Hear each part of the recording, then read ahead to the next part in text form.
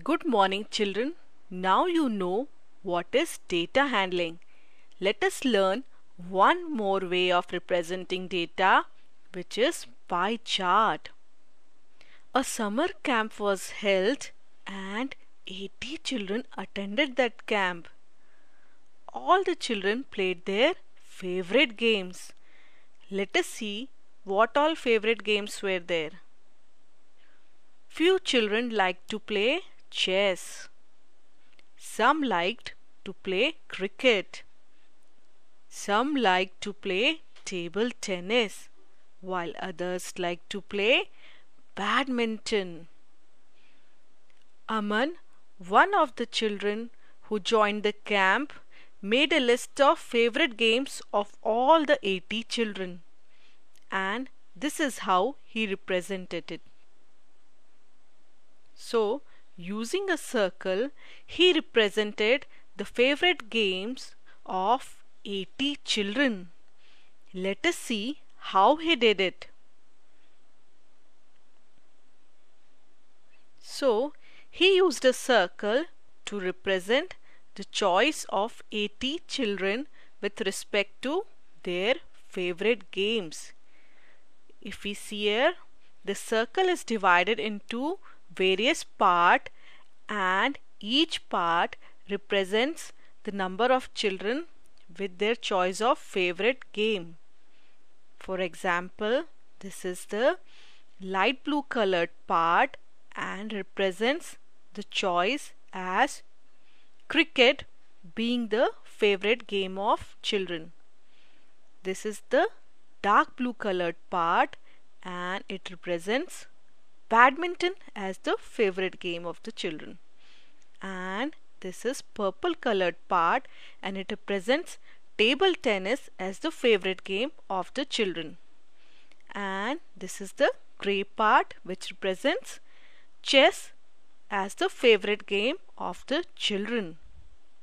So, the circle was divided into various parts and not just this, Aman even wrote the fraction or the part which was equal to the number of children liking a particular game.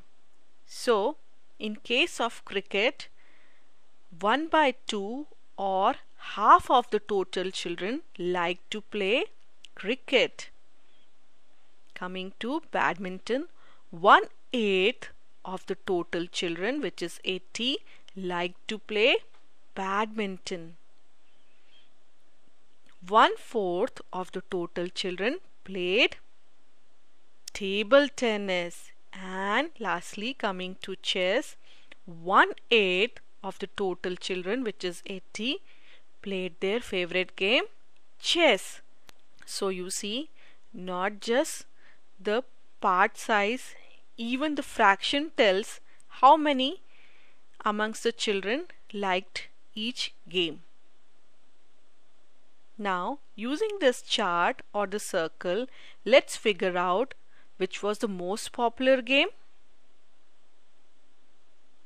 Now, if we see the size of each part, it should be clear that cricket was the most popular game amongst those 80 children not just the size even if we see the fraction related to cricket which is 1 by 2 it is the largest among 1 by 8 1 by 4 1 by 8 so you can say cricket was the most popular game amongst those 80 children. Next if we want to figure out how many children like to play cricket then, as we saw in the chart, half of the total like to play cricket and the total number of children were 80. So, we will figure out half of 80 which means 1 by 2 multiplied by 80. Let's reduce it. 2 ones are 2, 2 40s are 80. So, we get the number of children equal to 1 multiplied by 40 which is 40. So 40 children like to play cricket. Now coming to the next question. Can you tell which were the two games equally popular? If we see the chart carefully, the sizes of these two parts are same and they represent badminton and chess. So we can say badminton and chess were equally popular games. Also if we see the fraction related to them 1 by 8 both are equal. So what do we know? Badminton and chess were equally popular games. Now can you tell how many children like to play chess? We know 1 by 8 of total like to play chess and the total was 80 children. So 1 by 8 of 80. Now we reduce it. 8 ones are 8 and 8 tens are 80. So 10 children like to play chess. Another question. Can you figure out how many children like to play badminton? We know one eighth of total like to play badminton.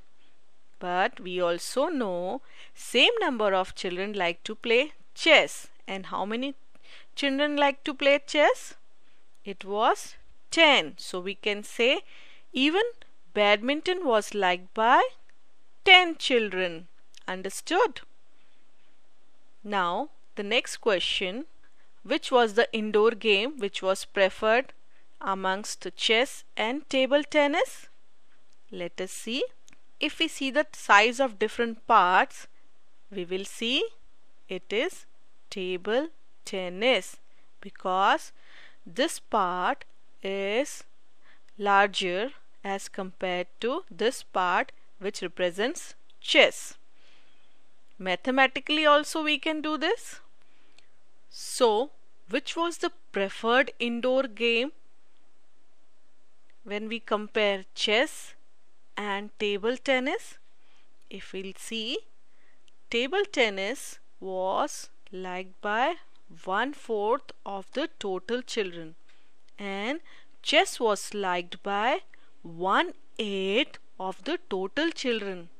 Even if we see the size of these two parts, what can we say? This is the bigger part. So we can say table tennis was the preferred indoor game, meaning it was liked by more of children. We can do this mathematically too. One fourth of the children liked table tennis and one eighth of the children liked chess. So it is one part out of four equal parts and this is one part out of eight equal parts. So naturally which is bigger? This is bigger. So we can say 1 by 4 is greater than 1 by 8. Hence, table tennis was the preferred game or the preferred indoor game of the children. So, table tennis was the preferred indoor game. If we look at this chart, doesn't it look like a pie? It is round like a pie.